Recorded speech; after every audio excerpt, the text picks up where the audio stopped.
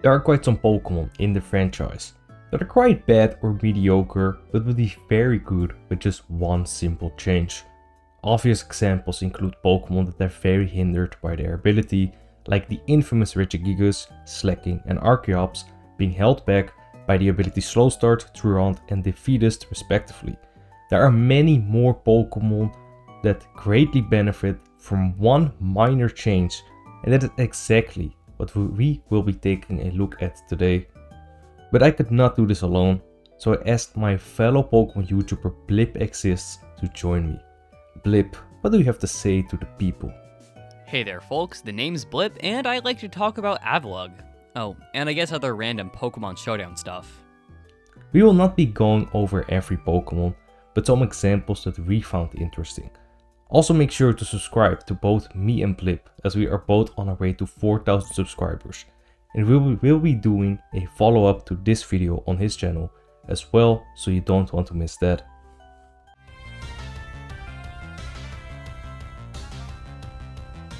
I already mentioned Pokemon that are very hindered by their ability, using Regigigas, Slaking and Archeops as an example.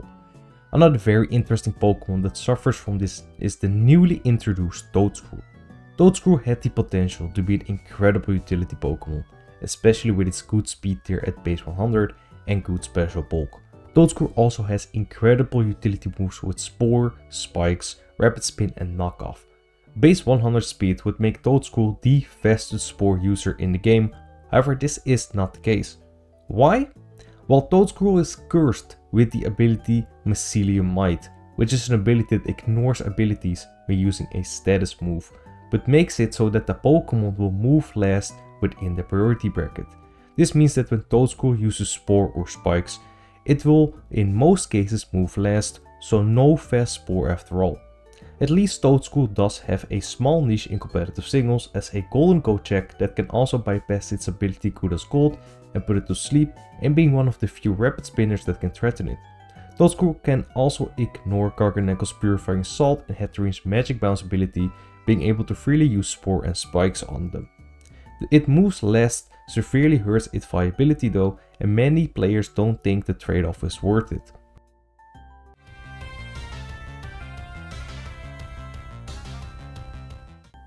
Most Pokemon would receive minimal benefit from a single stat point increase, not even a base stat increase, just a single stat increase to the total stat.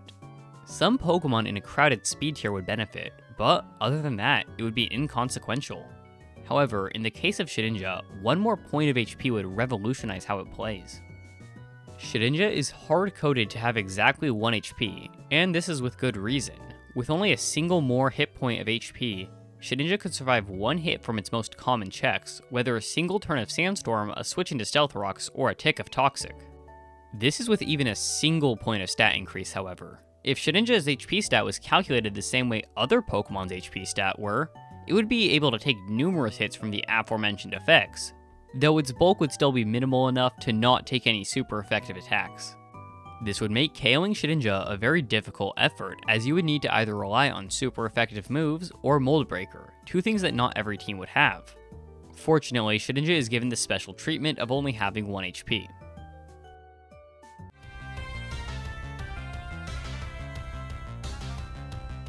Another very interesting example of a Pokemon that would be absolutely insane with just one more stat point is the newly introduced Bonnet, the best Paradox form of Amoonguss. Amoonguss has seen a lot of success in competitive singles and VGC, especially VGC, as it offers insane utility in team sport with the move Spore, Rage Powder, Pollen Puff and its ability Regenerator. Amoonguss's biggest problem however is that it is very slow, so even though it can put something to sleep with Spore, it will usually move last. Brute Bonnet also has Spore and this Pokemon would be the fastest Spore user in the game if it only had one more point in its speed stat. At first glance this might not seem like the case as Brute Bonnet is very slow too with a base 55 speed stat. However Brute Bonnet has the ability Protosynthesis which boosts its highest stat by 30% or 50% if that stat is speed when sun is up or if it is holding the booster energy item. Brute Bonnet does however have a high attack stat. meaning that even if you would reduce Brute Bonnet's attack stat to the lowest amount possible and increase its speed stat to max, its attack would still be 1 point higher than its speed stat, meaning it cannot gain a speed boost through protosynthesis. If it had just one more point in its speed stat, it would be absolutely terrorizing VGC with fast spores and would be a very good Pokemon in competitive singles as well.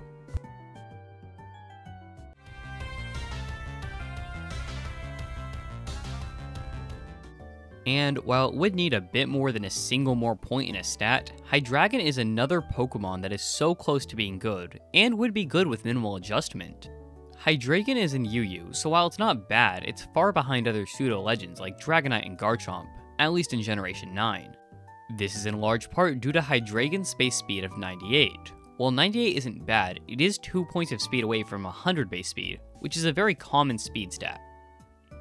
To see how important this speed stat is, look to a Pokemon like Garchomp, whose success is in part due to its base speed of 102, allowing it to outspeed many more Pokemon than Hydreigon can.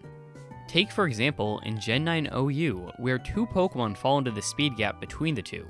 If you include Hydreigon's tier of UU, four more Pokemon fall into this category. In other generations, this speed difference can be even more impactful. Take for example Hydreigon's debut generation of Generation 5, where 7 Pokemon in OU fall in between the speeds of 98 and 102, with even more in UU. Because the value of the speed stat is almost solely based on the opponent's speed, these small differences can hugely affect the viability of these Pokemon. But at least it's not poor Haxorus getting one less speed than Hydreigon.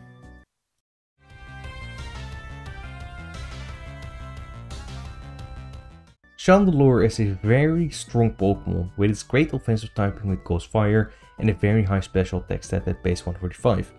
Chandelure almost received the ability that would make this Pokemon super broken, this being Shadow Tag.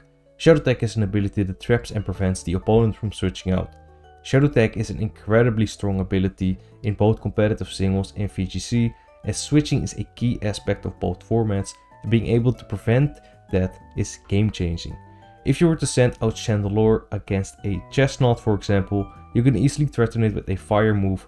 The opponent could then send out a counter to Chandelure like Blissey, however with Shadow Tag Chesnaught would not be able to switch out, giving Chandelure a free guaranteed KO. It's for this reason that the ability Shadow Tag is even banned from competitive singles on Smogon.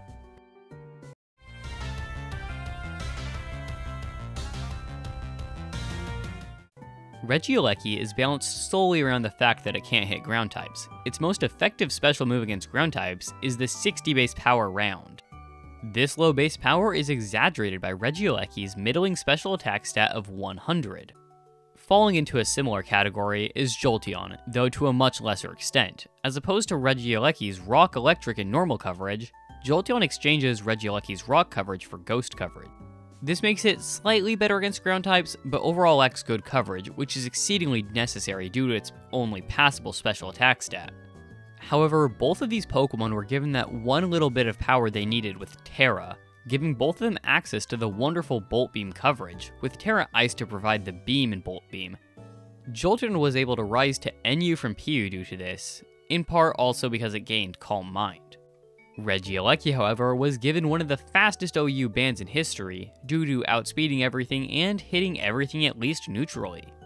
This is one example where you can see not only the flaw, but also see the flaw being fixed.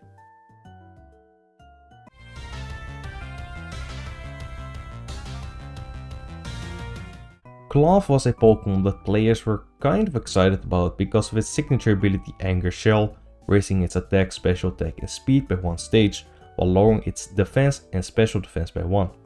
This is basically a mini version of the move Shell Smash, which is a great setup move in competitive singles. The reason people were excited is because it was assumed that Klawf would be able to learn the aforementioned Shell Smash, and thematically it makes sense. So yeah, imagine the disappointment when it got found out that it does not learn Shell Smash.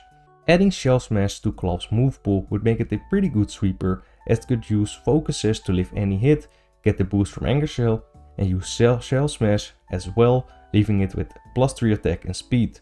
This would not make Klawf a top tier Pokemon by far, as it still has too many problems like its poor offensive typing and the infestation of priority moves, but it would give it a niche as a great sweeper in the lower tiers.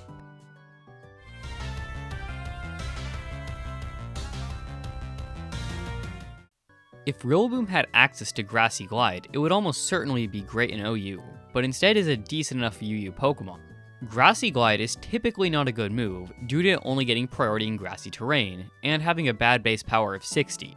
However, Rillaboom gets the ability Grassy Surge, meaning that Grassy Glide will almost always have priority, and while 60 base power isn't a lot, it gained a 30% power boost in Gens 8 and 9 due to grassy terrain. This allows Rillaboom to outspeed even the fastest of offensive threats, and deal massive damage. However, in Generation 9, Rillaboom lost access to Grassy Glide, causing it to drop from OU to UU, as well as Grassy Glide being decreased from 70 to 60 base power. And just like Rillaboom, Tapu Bulu would be much better with access to Grassy Glide, due to also having the ability Grassy Surge. Overall, Grassy Glide would likely not impact any Pokemon much, besides these two. And no, I'm sorry, but Trailblaze is not a substitute for Grassy Glide, as it has both less base power and is much less of an immediate threat. What are some other Pokemon that you think would be insane with just one simple change? Let me know down in the comments below. Check out the videos on the screen and make sure to check out Blip as well. Thank you for watching and see you next time.